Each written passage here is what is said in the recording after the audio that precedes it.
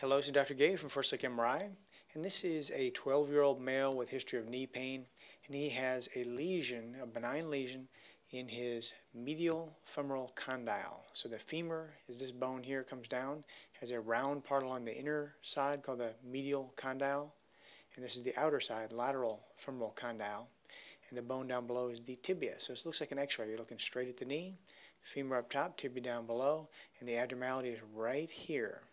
There's a little crescentic region of low signal, and this is what we call an osteochondral defect. So osteo means bone because it involves the bone, and chondral is because it involves the cartilage. So you can see here there, there's a gray band going along the articular surface of the femur. This is the cartilage.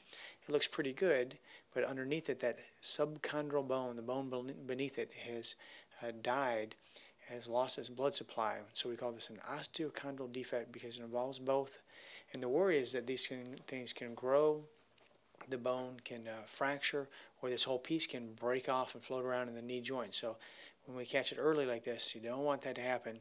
And so the surgeon may follow the patient on MRIs or go in there and drill it with a drill and hope that the blood will flow into it and it can heal itself. So in this patient, we don't have any follow-up.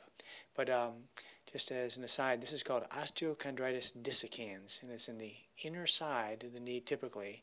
It involves the articular surface, and it also goes in to this thing. This is the intercondylar notch. So the two condyles, the intercondylar notch.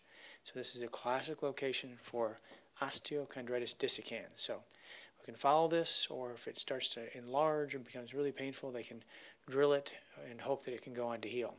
So there's another patient here who's 29 years old. They have the same exact thing. Again, this is a typical location, osteochondritis dissecans. It involves the medial side, medial femoral condyle, and it goes into the notch here, the intercondylar notch. And in this patient, we can see that they have had drilling. You see these linear bands here? So they have uh, been drilled to try to get blood supply going to it, but we can see here that it was not successful. On this view, we can see fluid is white, so we see white fluid here.